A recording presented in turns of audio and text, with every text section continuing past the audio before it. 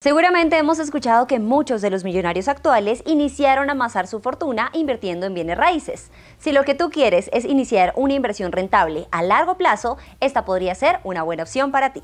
Quédate hasta el final de este video porque te voy a contar sobre las 5 recomendaciones antes de invertir en finca raíz.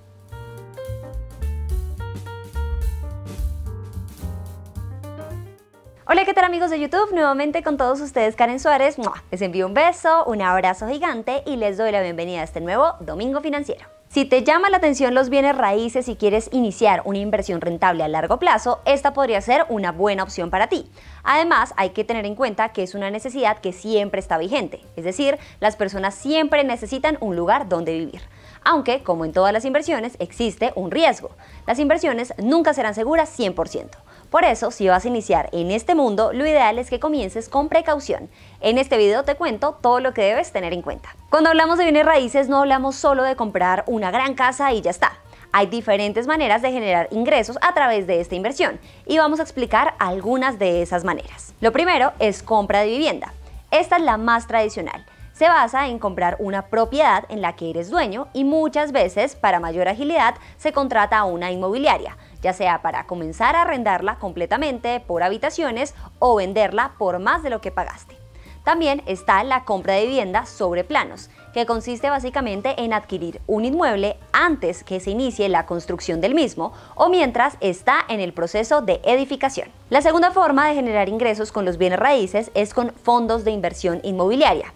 Aquí el dinero se destina a la inversión del mercado mobiliario junto con otras personas, con el objetivo de obtener rentabilidad a través del alquiler o la revalorización de estos activos. En tercer lugar encontramos también los fideicomisos inmobiliarios. Se tratan de contratos por los cuales una persona transfiere el inmueble con un fin para que sea administrado por terceros para proyectos inmobiliarios. Cuarto y por último, el crowdfunding inmobiliario.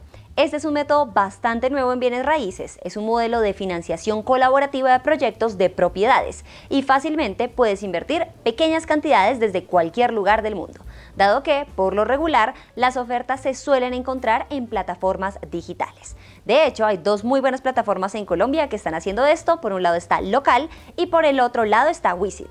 Ambos te los dejo aquí en las tarjeticas que en este momento están saliendo en pantalla. Dentro del crowdfunding inmobiliario se derivan dos. Te voy a contar muy rápidamente. La primera es la inversión en capital y la inversión en deuda. La primera, la inversión en capital, se basa en destinar el dinero directamente a una propiedad y recibir una parte de la misma, en cuyo caso, por lo general, se recibirá una parte de los ingresos o de las ganancias que genera la propiedad una vez se venda. Y en la segunda es la inversión en deuda. Se basa en invertir en un préstamo hipotecario sobre una propiedad y recibir una parte fija de los intereses a medida que se paga el préstamo. De esta manera entonces podemos hacer de los bienes raíces una diversa inversión, aunque cada una de estas opciones tienen sus pros y sus contras. Depende de cuáles sean los riesgos que queramos tomar y sobre todo algo muy importante, es definir a dónde se quiere llegar. Esto marca el norte de nuestro camino y de nuestra inversión, pues debemos enfocarnos en un modelo que cumpla nuestro objetivo y nuestras expectativas. Podemos hacernos preguntas como ¿en qué quiero invertir? ¿Cuánto quiero ganar? ¿Las decisiones que tomo si me llevan a esto o no? Siempre les comparto que no hay una inversión que funcione generalmente para todas las personas. Hay que tener en cuenta factores como el tiempo, el perfil de riesgo y el monto de dinero con el que contamos.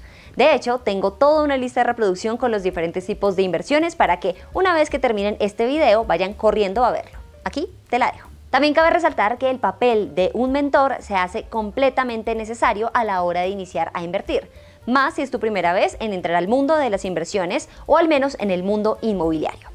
Este especialista te guiará a conocer bien cuáles son las tendencias del sector, cuáles compras puedes hacer de manera inteligente y será una guía también en temas legales o de cómo sacarle el mejor provecho a tu propiedad. Todo esto va a ayudar a que se minimice el factor error dentro de la inversión. Ver este video ya es un buen inicio. Otro de los factores que debemos tener en cuenta al momento de iniciar la inversión es el ahorro previo. Es clave gastar menos de lo que ganamos y aumentar nuestros ingresos. Encuentra la forma de hacerlo. Una de las mejores herramientas es a través del presupuesto, dado que dentro de este puedes destinar mes a mes el dinero que vas a apartar para invertir. En medio de este ejercicio descubrirás algunos gastos hormiga, por ejemplo, o hábitos de endeudamiento que te permitirán mejorar y tomar cartas en el asunto. Otra manera a la hora de iniciar tu inversión es con la ayuda de crédito, que en algunos casos llegará a ser una buena oportunidad, pero debes recordar que debes hacer los números antes de tomar esta opción, pues muchas veces terminaremos pagando de más o terminaremos pagando más tiempo del que hemos previsto. También es muy importante al invertir contar con ingresos estables en ese momento, porque como dice el dicho, no hay que poner todos los huevos en la misma canasta. Las inversiones no son mágicas, requieren de paciencia y sobre todo de tiempo para ver el retorno de nuestra inversión.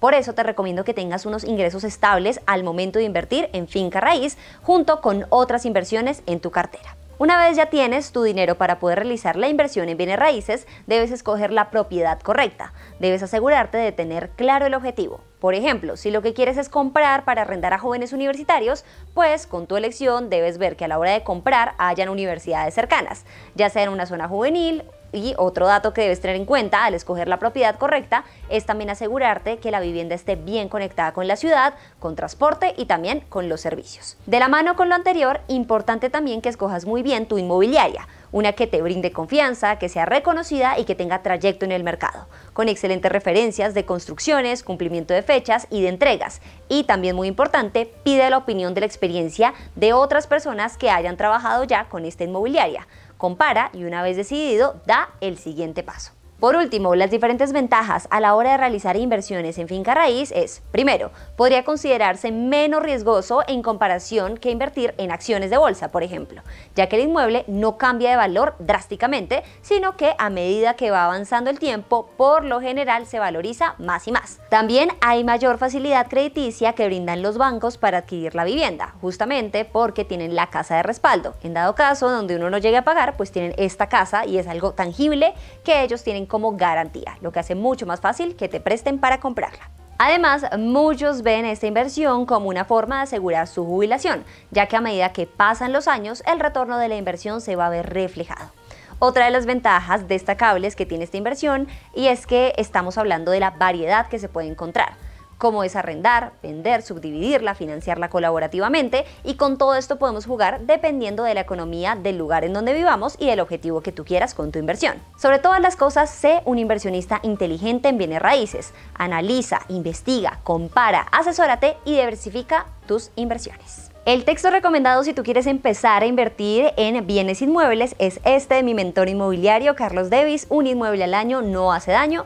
De hecho, tiene acá ejercicios, proyecciones y números para que uno pueda aterrizarlo y hacer sus propias cuentas antes de invertir en cualquier propiedad. Así que súper recomendado este libro. Hasta aquí este video, si te gustó no se te olvide dejarme tu like, tu comentario en la parte de abajo, suscribirte a este canal y por supuesto activar la campanita de notificaciones para no perderte de ningún video. Se despide de Colombia Karen Suárez, les envío un beso, un abrazo gigante y recuerden que este canal está diseñado para seres humanos más humanos y felices. ¡Chao!